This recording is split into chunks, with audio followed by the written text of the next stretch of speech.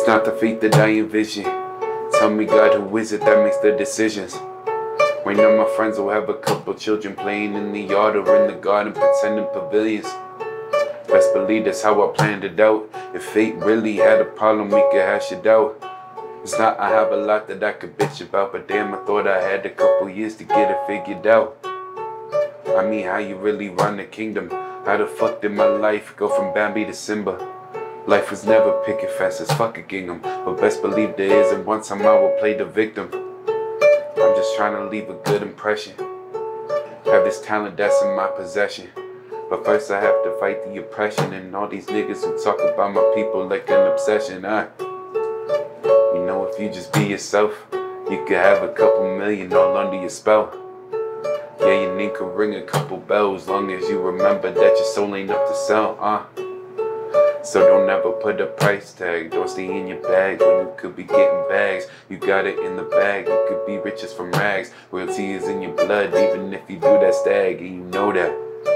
And what about my fucking haters? And mistakes in my past, and there could be some traitors. But do I let them spotlight on my flaws and just damage my old cause or just run and grab erasers? I never claimed that I was perfect, and even in my brightest wonder if I'm worth it. So many who would line up for the throne, but I know I'm the only one in line who might deserve it. I just don't think I'm ready yet. And yes, I'm here for family, yes, I am in debt. But why I have to fight through all these people that depend on who I love and know my skin will show respect? I mean, shit just gets me hella tight. I never saw a bait, I never got to bite. Hear him screaming like, uh, uh, uh, uh. As long as you have good intentions, it won't matter what they spew up in your Twitter mentions.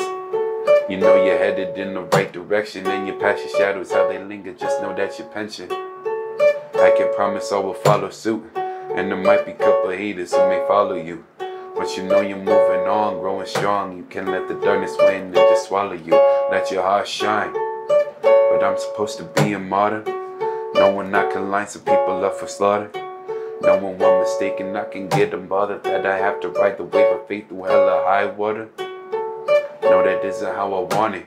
I'm not the type of dude to talk and walk and flaunt it. I'm trying to keep it humble, cause I know if I get cocky, hell yeah, I'll feed off a restaurant. Uh.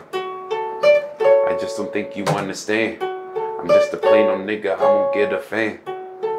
So how will I take a stand when I know that by their definitions I am not a man? Tired of feeling fucking helpless. I'm tired of putting work in to be told I'm selfish. I'm tired of being told I'm desperate when I come through trying to work with niggas that are vested. Uh.